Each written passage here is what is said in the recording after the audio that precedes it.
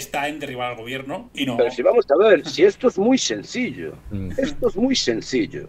Te llama un cliente, viaje para Madrid, de Vigo a Madrid, Hmm. 400 euros, no te lo hago, pum. Ya está. Pero claro, no, es que te lo tengo que hacer yo porque si no viene el otro y, y lo hace. Ah, vale. Pues si estamos con este sistema, nunca se va a arreglar. Nunca.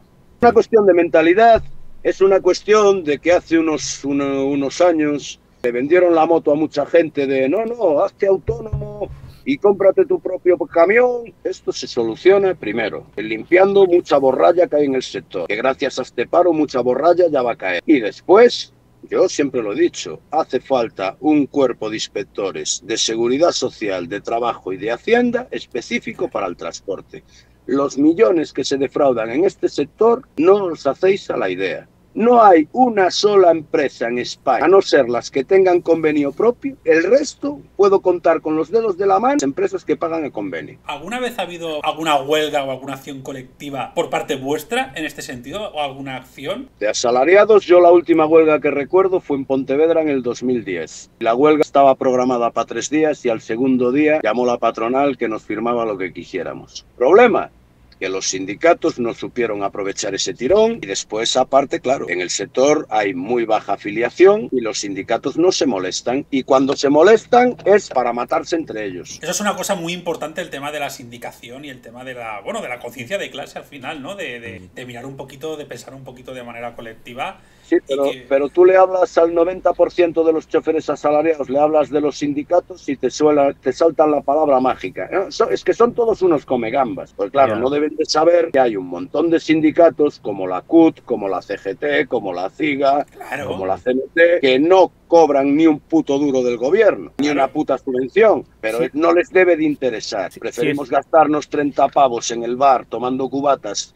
protestando de lo mal que está todo, que gastarnos 30 pavos cada tres meses en estar en un sindicato, sindicados para que nos defienda. Entonces así nos luce el pelo. Esto es Claro. un problema de falta de cultura, pero total. E- Ese relato, ¿no? De los de es un chiringuito, de los sindicatos o se dedican a comer gambas, ¿no? Muy interesado por parte de la derecha, porque está claro que a lo mejor en España no tenemos los mejores sindicatos, sobre todo los grandes, que habrán tenido errores, pero yo sí que conozco sindicatos, y también de los grandes, que se han partido la cara en fábricas y han conseguido convenios y cosas muy ventajosas. En Ahí cambio, está. claro, a la derecha le interesa mucho además vender el relato de que son todos unos inútiles, porque es lo que le interesa a las élites, ¿no? Que para eso está aquí la extrema derecha. Como con la política son todos ¿no? iguales, no sé qué. Claro. No, no, claro, pero si de hecho, de hecho ya lo visteis ahí atrás. No, no, es que han callado a los sindicatos porque les han dado 17 millones de euros. Vamos a ver, les han dado 17 millones de euros para que cuando tú tengas que renovar el CAP o el ADR te salga gratis, gilipollas. Eso lo primero. Segundo, a que nunca veréis una noticia de la COE ha cobrado tantos millones de subvención. Pero esa gente también cobra subvenciones, ¿eh?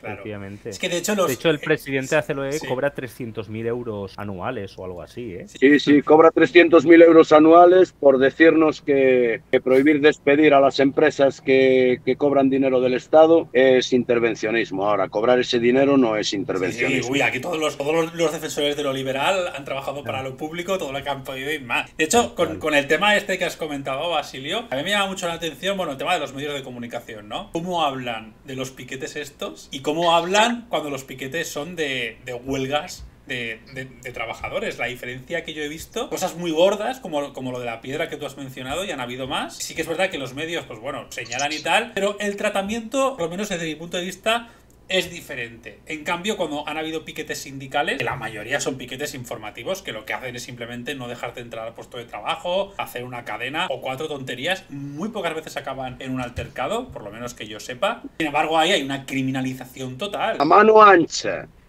que ha tenido la Guardia Civil con esta gente, si llega a ser una, una huelga de asalariados, me iba a dar la risa a mí. Porque el vídeo que, el vídeo que puse yo hoy a la mañana, que, puso, que pusieron en, en la televisión, de un piquete abriéndole la puerta a un compañero Efectivamente. y amenazándolo. Eso lo hace un asalariado delante de la Guardia Civil y duerme en el cuartelillo por la noche. O, o abriendo camiones y tirando todo lo que tienen dentro, ¿no? Rodeados. También, también. Entonces, Basilio, ¿tú crees que la extrema derecha está directamente detrás de, del, del todo el palo del transporte? Aparte de, A ver, yo no digo, yo no digo que toda la gente que estaba parada Ah, claro, y que toda la gente que No, esté no, a los no. piquetes sean de extrema derecha. Claro, claro, No, eso es claro. obvio. eso es- Digo que quien encendió esto Sí. fue la extrema derecha. Y no fue para arreglarlo, porque como os digo, los cargadores quisieron ponerse de acuerdo con ellos una semana antes de empezar la huelga para arreglar las tarifas y para arreglar exactamente todo lo que estaban pidiendo. Y este señor no quiso recibirlos. Claro. Y huelga indefinida, y huelga indefinida, y huelga indefinida. De hecho, salió eh, una de las primeras entrevistas que concedió a El Plural, en el que, Sí, bueno, José Fernández, el José coordinador Fernández. de Asturias. el coordinador de Sí. Asturias, soltó Pepín, una... sí. Pepín, menuda fiera. Menuda Háblanos de. Pepín, háblanos de Pepín.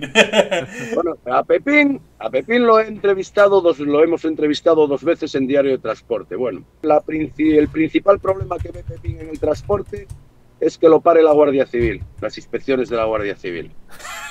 O sea, si no tienes nada que esconder, ¿qué coño te importa que te pare la Guardia Civil? Y yo, yo lo que yo lo que quiero es que haya más inspecciones de la Guardia Civil. Claro. Porque cuantas más inspecciones haya, menos piratas habrá, menos gente borracha al volante, menos gente drogada al volante y más seguridad para el resto. Totalmente. Pues este señor, no sé por qué, tiene un trauma con la Guardia Civil. Lo más cachondo de todo es que este señor es pensionista y no tiene ninguna empresa. O sea, lleva chupando del teto de Guita. amém.